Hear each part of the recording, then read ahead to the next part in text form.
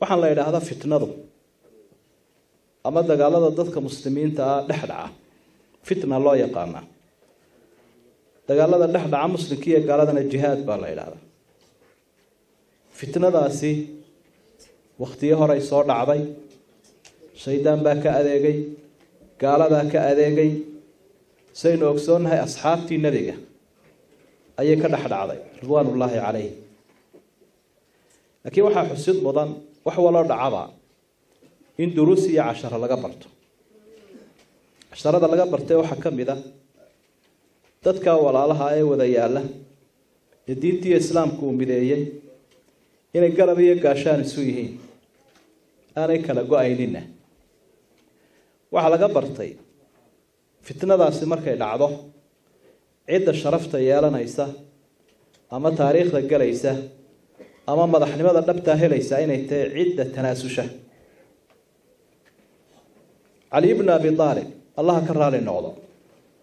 Wuxuu hogaaminaya col aada u ballaadhan oo tobanaan kuna.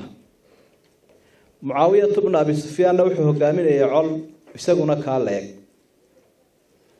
Labadii col horena way u dagaalameen. Markii dambena dagaal baa lagu dhawaaday in la bilaabo iyadoo xaaladdu caynkaa tahay waxaa geeriyooday sidaynu ogsoonnahoo la dilay cali bnu abi aalib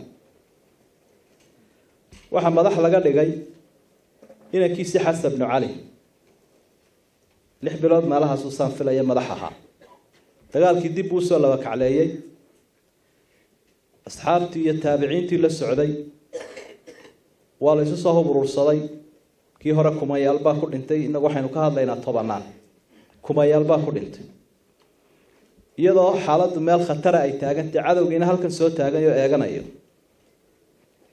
Ayaa waxaa goobtaa ka hadlay caliy bnu abi aalib inankiisii madaxda laga dhigay xasan bnu cali xasan iyo xuseen saynu garanayna xasan wey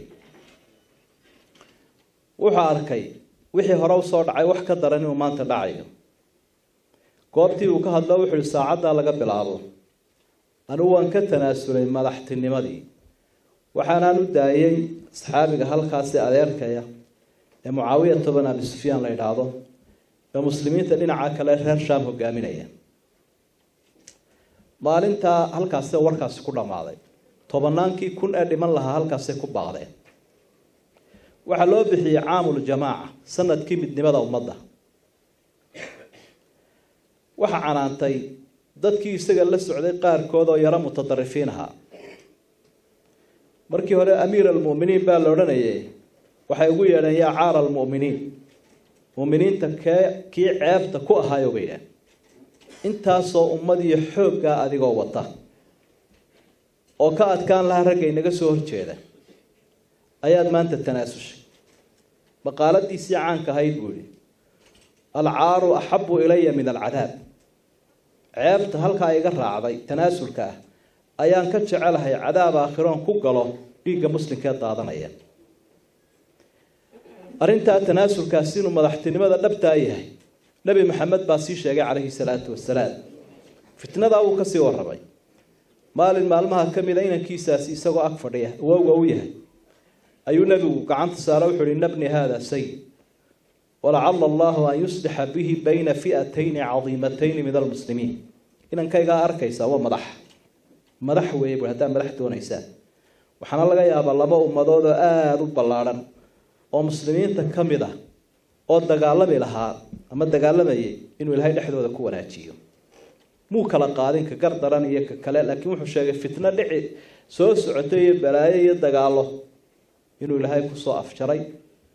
Waxaan uga jeedaa walaalaha halkan fitnadu ay ka dhex dhacday ee ay maqlaya ee matelaya dad badan arrinta koobaadan ku waaninaya waxa wey tanaasulka.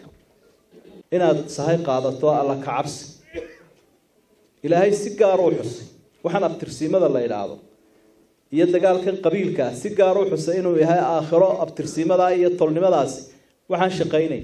Falaa ansaaba baynahum yowmaidin walaa yatasaa'aluun ilahay wuxuu leeyahy maalinta qiyaame halkaa ilaahay la hor yimaado. Falaa ansaaba baynahum. Wax abtirsiimahay dhexdooda ma yaalo bal hadda u fiirso. Ilahay isagayna yaqaana waa ina hebel iyo waa ilma hebla iyo waa jifadii reer wixii la akriyi jiray. Falaa ansaaba baynahum yowmaidin walaa yatasa'aluun. Abtirsiima ma taalla buu lahay maalintaa abtirsiimada dhabtaa jirta ee la isugu shafaaco qaadayo ee la isugu ergeynayo waa iimaanka iyo islaamnimada. Marka taana waan baraarujin lahaa qof walbaba markaad gaarkaaga u joogto iyo markaad ummadda la joogto ile halka waa laga dhaqaajinaya kii dagaalka ku dhintay mid kale oo bes isaga dhintayba u dhaqaajinaya. Inuu qofku ku xisaabtamo wax aakhiro cadaab kugu noqdo ama ciqaab ama aada ka calaalcasheeyo halkan kaa raacin marka xusuusta aakhiro inay qalbigeenna ku weyntay maxkamadda ilahay in lasa soo taagi doono. Awalu maa yuqdaa yowma alqiyaamati dimaa nabi maxamed wuxuu leeyahy calayhi salaatu wasalaam maalinta qiyaamaha waxa ugu horreeya maxkamadda ilaahay. Faylkiisa la furayo ee kiiskiisa la qaadayo waa dhiigga xuquuqda addoomaha udhaxaysa wax kaleba intaa laga hadalba kursi laga hadli maayo madaxtinimo laga hadli maayo dulmi kale laga hadli maayo dhiigga ayaa la soo furaya. Qofkii gardarada lagu dilay wuu soo dhaqaaqayaa kii dilay buu kalarhka ku dhegayaa iyadoo dhiigguna uu butaacayo calaamadu iyo in dulmi lagu dilay. Wuxuu leeya ilaahay ow kana ay dileen? Bal waxaad weydiisaa wixii uu igu dilay. Kii ka qayb qaatay dilkaasina sida culimadu hore idinku sheegeen waa la mid wax naxdin la weeye. Dadka jaarka ah riximka ah sidaa horeba loo sheegay wada degan ee aan kala guuray. In dhibaatadaasoo kale soo noqnoqoto. Jaarku waxaa la yidhaha mana kala adkaado. Mana kala guulaysto bal hadda u fiirso. Weligoodba ha kala tiro badnaadaan. Mana kala adkaanayaan mana kala guurayaan waa kuwa soomaalidu ka maahmaha yidhahda beel iyo nin baa col ahaa maalintiina ayaa adkaa beesha habeenkiina ninka nin waliba wuxuu is idhaahdaa un caawu kugu soo guurogalaya nabi maxamed calayhi salaatu wasalaam ilaahay wuxuu ka magan garay min aljaari suur fii daari lmuqaama jaar xun oo kaa helay deegaan. Jaarka baadi wuu kala guuraabu. Laakiin jaarka deegaanka isku hela waa wax ilaahay laga magan galo. Saasuu nabigu leeyahy calayhi salaatu wasalaam. Marka waxaan ku soo ururinayaa waxaan ku soo ururinaya haddaynu ergada iyo haddaynu xukuumadda iyo haddaynu dadka wax dhex mareen waxaa la is hortaagaya ilaahay. Yowma laa yanfacu maalun walaa banuun ilaa man ata allaha biqalbin saliim. Maalin aanu ubad iyo ehel iyo awood iyo adduun midna waxba anfacayn halkaasuu qofku isa soo taagaya maxkamadda ilahay keligii baa istaagaya. Dolna kuu raaci maayo. Marka qof walowba dhinacaaga weexo qof walowba geerida xusuuso. Qof walowba iilkaad keligaa galayso xusuuso. Kelmadaasaan ku soo gaabinayaa waxaana rajaynayaa insha allahu tacaala walaaluhu markay dacwiyayaan inay aada uga fogaadaan waxaan jirin inay ku dacwiyaan. Munaafiqnimuu nebigu ku tilmaamay alfujuura fi lkhusuuma waa munaafiq buui qofka markuu dacwiyayo waxaan jirin sheegaa. Dhiiggu wax la qariya maaha xuquuqda bani aadamka wax la qariya maaha qof waliba wixii waaqic aha sheego.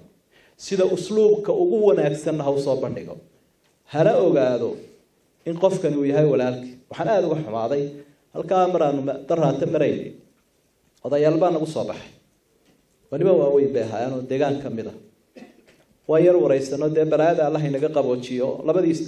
Labadiina dhanba isku mid baa tihiino ninkii odayga ahaabaa wuxuu yihi waxaa nasiib darra aanu islaynay hablahaygaa habla aan awow u ahay oo inantaydu ay dhashay ayaan bariidiyaa. Awow iska warrama. Saaka maxaa waa idinku baryay waxay idhaahdaan awow waa nabad intaa ima dhaafiyaan. Telefoonkana way igu xidhaan waxay diidayaan muraayadaha waxay uga dallacanayaan inuu war ka qaado ama halkaa ay sii dhaafto xaajadu. Hadeegada muraayadiiba inantii ka dallacatay awow waa nabad iima dhaafiyaan buuhi hablo oo waxyaabaha damqayuu ka mid yahay. Intaasaan ku soo ururinaya dardaarankaana waxaanu idiin siinaynaa si qurux badan walaaltinimada hadda sii bilaaba. Sidii qoladii iga horreysa ay sheegtay salaanta iyo isbariidinta hadday tahay geed xidhaha iyo hadday tahay labada wax dhex mareen idinkaa iska kii yaqaan. Gobol kaliya ku wada fadhida. Hadda sheekada ka sii bilaaba dumarkii iyo maatida susa tusa qoladii ciidanka ahayd u sheega hala kala dego. Miyir qabaan ku wadno waxaanaanu idin ballan qaadaynaa. Allaa nakhaafa fillaahi lawmata allaahi inaanaan cidna uga habranin wixii aanu xaq u aragno. Kiiska odayaal ha ku jiraan laakiin shareecadu ku soconaya waa labiyo toban culimaa iyo shan odayaal iyo salaadiina laakiin nidaamku waxa weye shareecada islaamkaa la saaraya kitaabkaa loo eegaya. Dowladna u habran mayno labada qabiilana u habran mayno. Ilaahay baanu ayaanu ka baqanayna subxaana wa tacaala. Taana waa idin ballan qaadayna. Wixii aanu xaq u aragno baanu sheegi doonaa. Taasina waa inoo ballan. Idinkana waxaanu idinka martinahay in shuruudahana naga daysaan is-adkaynsana naga is-adkayntana naga daysaan arrinka wixii fogeynaysana naga fogeynayana naga ilaalisaan aada baa umahadsantihiin waxaan ku kalsoonahay. Waxaa tiinoo laydinku yaqaanaa dadgoba oo sharafa oo taariikh wadanka ku leh. Taariikhdii hadday qoontaasi yar gaadhay waynu kabaynaa insha allahu. Idinkamana warwarsanin